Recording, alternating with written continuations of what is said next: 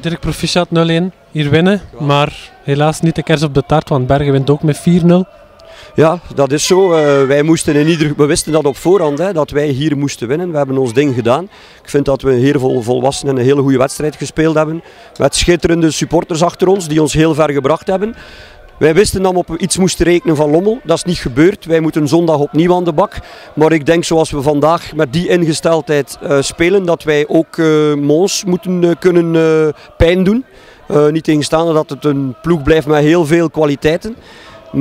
Maar hopelijk lukt het. En het zou ook verdiend zijn na een schitterend jaar en na een schitterende eindronde. Jammer dat we nog een extra match moeten spelen. Maar met deze ingesteldheid, met die sfeer onder de spelers en met dit publiek achter ons, dan gaan we ze in ieder geval ook in Mons niet tegenstaan dat ze spreken van een Vlaams complot en wat weet ik allemaal, gaan ze toch moeten met ons rekening houden. De tweede helft was natuurlijk aan de andere kant gemakkelijker tegen 10 man. Heb je gezegd tijdens de rust?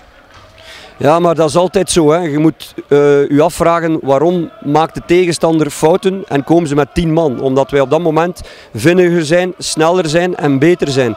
En uh, ik kan daar niet aan doen dat de tegenpartij fouten maakt. En als je fouten maakt, krijg je een rode kaart. En dat het tegen 10 man gemakkelijker is, is al in het verleden vaak bewezen dat dat niet zo is. Maar wij vonden vandaag heel gemakkelijk die vrije man. En dan is het inderdaad tegen 10 gemakkelijker voetbal. Maar het is ook al vaak zo geweest dat het niet gebeurt.